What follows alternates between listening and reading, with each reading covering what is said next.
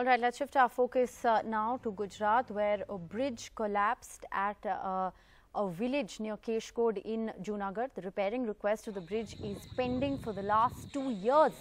This uh, bridge collapsed due to heavy rainfall in the Keshkod and uh, adjoining areas of Junagadh.